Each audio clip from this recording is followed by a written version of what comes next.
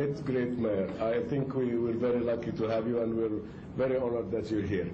Uh, our uh, distinguished ministers uh, with us here, I am very pleased to to uh, recognize and welcome uh, Her, Her, Her Excellency the, the Minister of Transport, the Minister of Transport,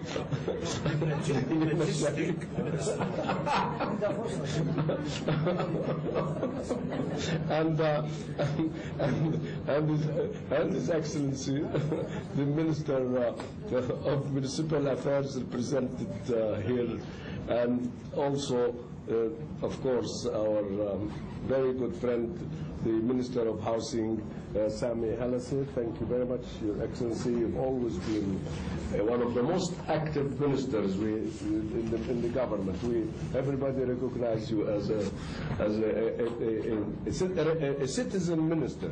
You're always around as a, as a, as citizen in this country.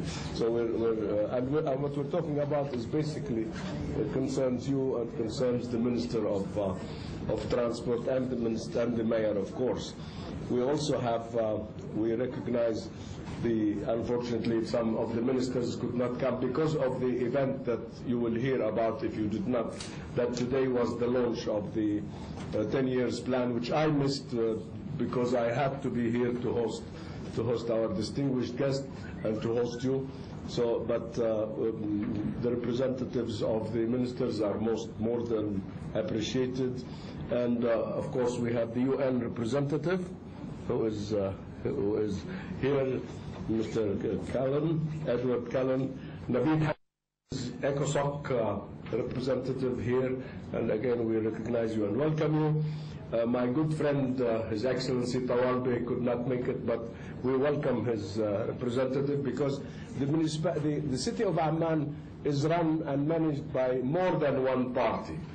Al-Amn al-Am is one player, وزارة الاتصال transport uh, ministry is another player, the municipality of course is another player, housing is a player on uh, the the uh, there is there are so many players that decide what goes in the city and we are very lucky that they are all they are all with us here today I would like also to to welcome and uh, appreciate the, the the presence of the distinguished uh, um, uh, members of the diplomatic corps the ambassadors ambassadresses and uh, distinguished members of the Senate and the Parliament and distinguished uh, community of Jordan. We are very proud that we have you and we appreciate your interest in this very important subject. What we're talking about is the future of our country. It's not the future of Amman. It's not the future of a city.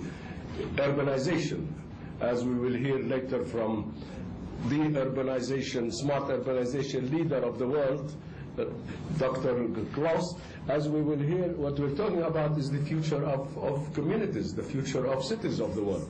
You know, when, when we read about the subject, somebody would think sustainable urbanization. This is a theoretical subject or a subject of, of no in, uh, immediate interest.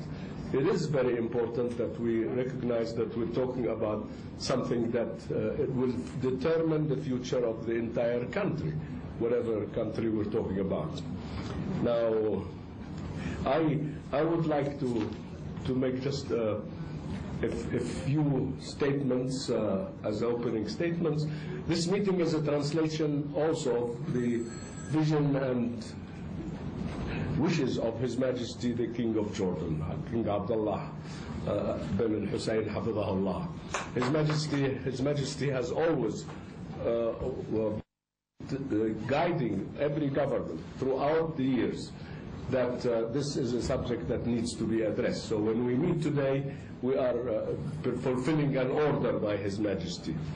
I'm also pleased to announce that uh, we already started with my good friend uh, Aqil Biltaji, His Excellency, the, pro- the process of smart uh, transformation of Amman municipality, great municipality. We have a memorandum of understanding which we are uh, working according to uh, in order to transform Amman municipality uh, into a smart, uh, smart city. Um, according to the Shanghai listing, which I have, uh, there are 20 uh, smart cities in the world. Uh, only two of them are from this region. Dubai, and it numbers 16 on the list, and Cairo, and its number is 20. This is a, a, a list produced by the uh, by these Chinese uh, uh, authorities, uh, based on a number of uh, of uh, uh, criteria that uh, uh, determine what a smart city is. I am also pleased to say that we are working with my good friend Mr. Edward Cameron on establishing, and I would like you to all, I invite you all to attend our meeting in, in June too. We will be starting a new initiative by the United Nations, which I think is a great change. I, I take pleasure in having uh, uh, convinced Kofi Annan to introduce the private sector into the United Nations. And I asked him, uh, first met him during the the beginning of his first term, and I said, if I would like to see a legacy for you, Mr. Secretary General, is to bring the private sector, which is the creator of knowledge and wealth, to this organization called the United Nations. Now we, we are holding a meeting on the 2nd of June to establish a forum for UN private sector. This will be a forum where we in the private sector, the nation system, we can interact, discuss, and make proposals and suggestions. I am also asked by the, by ESCWA to do a similar exercise on a regional basis, so we will be having another forum by us, with us, ESCWA, for the private sector to assume its role in support of the United Nations system. I'm, I'm glad to say that this is already in process, it's been resolved, it has been agreed and decided, and, and our launch meeting is here, will be here on the June 2nd.